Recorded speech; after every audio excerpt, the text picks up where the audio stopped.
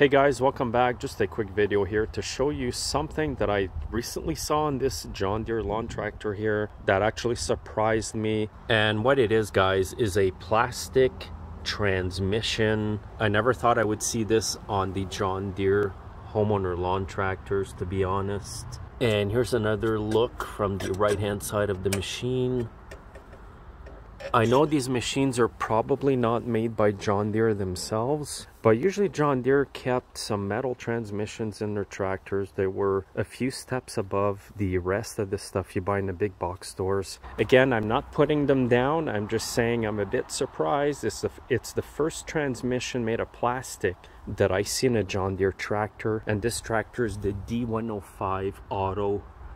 Let me know what you think, guys. Comment below. Have a great day.